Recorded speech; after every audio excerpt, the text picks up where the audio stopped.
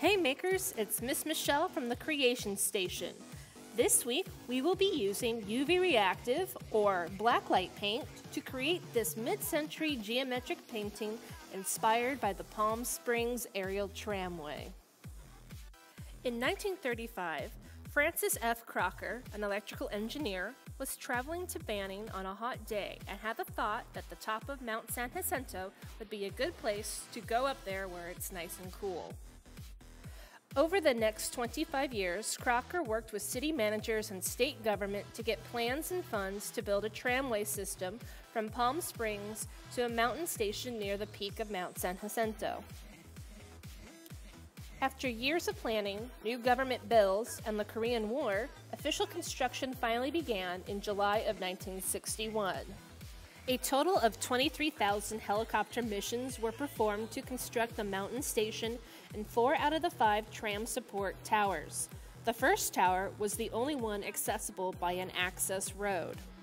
Finally, 28 years since Crocker's Folly started as an idea, the Palm Springs Aerial Tramway opened to the public on September 12, 1963. Over the years, renovations have been made to the mountain station, and in 2000, rotating tram cars replaced the older cars, giving visitors a 360 degree view as they travel up and down the mountain. On average, a tram ride takes around 10 minutes one way, while the car travels a total of 2.5 miles. Since its opening, the Tramways Visitor Center has estimated that over 20 million guests have taken a trip on the tram. Before we get started on painting, let's gather our supplies. Today I'm using an 11 inch by 14 inch canvas, but you can use any size that you like.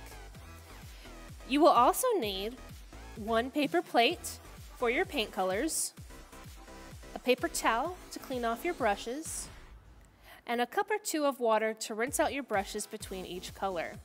For our brushes, I will be using a half inch flat brush, a 1 8 inch flat brush, a small detail brush, and I will also be using an optional 3 quarter inch brush to fill in larger areas. We will be drawing our design first before we start to paint, so I recommend using a ruler to get straight edges and a pen or pencil to map out your design. The paints I'm using in the video are specially made UV reactive paint. This means that when exposed to a UV light, or black light as it is commonly called, the paint will glow. I purchased these paints on Amazon, but you can find them in local craft stores.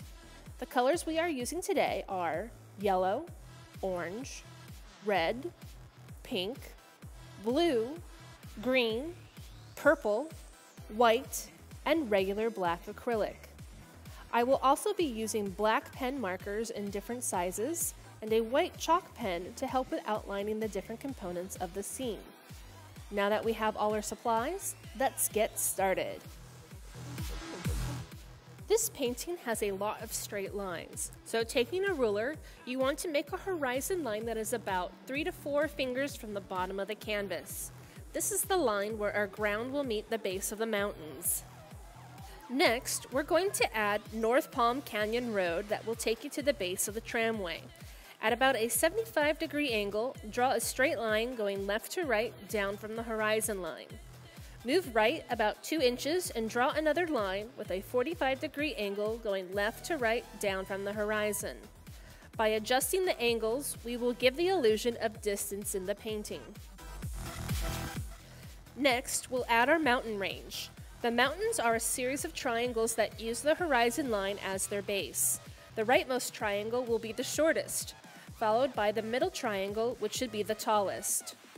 The final triangle on the left should have a height somewhere in the middle. After the mountains, we're going to draw in a tram tower by making a rectangle in between the leftmost mountain and the middle mountain.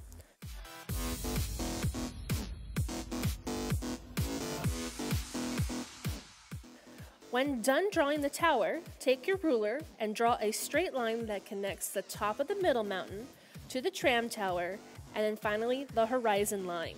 This is your tram cable. In the original painting, the ground was painted purple with three palm trees. For this painting, I want the ground to be green. So I'm going to draw three succulent plants along the road, which I will then paint purple. Go ahead and draw in your plants.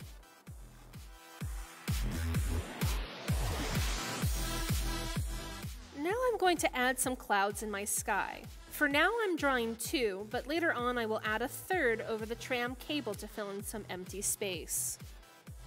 You might start to notice that I'm putting in three of objects. Three mountains, three clouds, three plants. And this is because of the rule of odds that states that an odd number of subjects in an image is more interesting than an even number. If we were to draw an even number, it might not look balanced or symmetrical enough, but odds will make it look more interesting.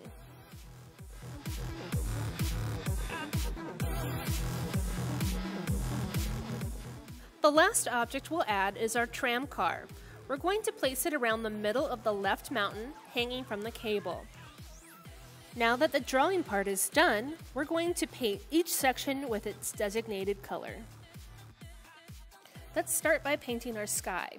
Using the quarter inch brush, dip into the neon blue paint and outline the areas in the sky that touch objects like clouds, mountains, and the horizon. Then color in the rest with a larger brush. You will notice that the paint is a little transparent, but we'll get back to that later on. Next, dip into the neon red and paint the leftmost mountain. Rinse and dry your brush, then dip into the neon pink paint and fill in your middle mountain. Rinse and dry, then dip into neon orange and paint your smallest mountain. Moving to the next section, rinse and dry your brush and dip into the neon green paint. Outline the area around the succulents and then fill in the rest of the ground area. Rinse and dry your brush and then dip into the black acrylic paint. Fill in North Palm Canyon Road. Next, dip into the purple paint with your small detail brush and paint in your succulents. By this time, your sky should be mostly dry, so go ahead and dip into the UV white and paint in your fluffy clouds and the tram tower. To paint the tram car, mix a little yellow with orange. Once the first coat of paint is dry, go ahead and apply a second coat in the same order. Wait for the painting to dry again and then apply a third coat. We're just making sure that the paint appears solid and is not transparent or streaky. Once my third coat dried, I decided to add a third cloud, just to kind of give a little bit more balance. Now, with everything dry, go ahead and take your ruler and go over the original lines you drew for the scene with a black paint pen. For the horizon line and for the road, I used a large black pen marker.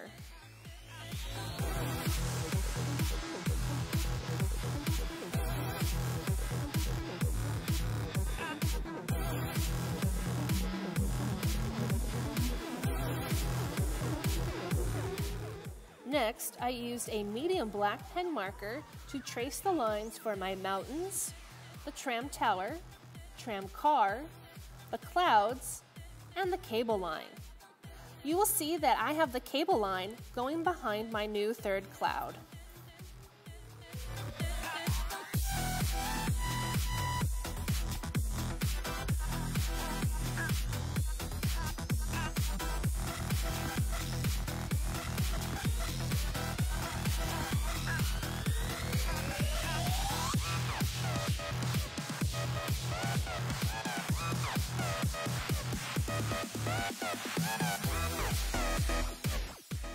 Next, I took a white chalk pen to map out the lines on the road. These lines will get slightly larger the closer they get to the edge of the canvas. This is a technique to help with the illusion for distance. The chalk wasn't as solid as I had liked, so I added a top coat of UV white paint.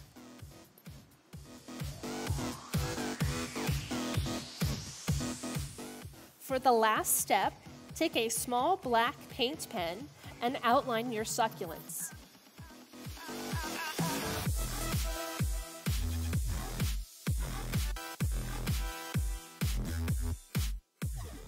I added some spikes to my succulents to give it a little bit more character.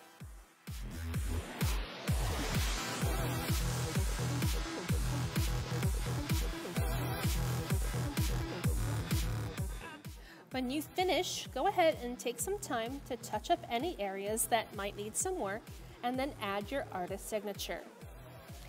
Our painting is now complete. You can enjoy it as is, or to get the full effect, put it under a black light and let it glow.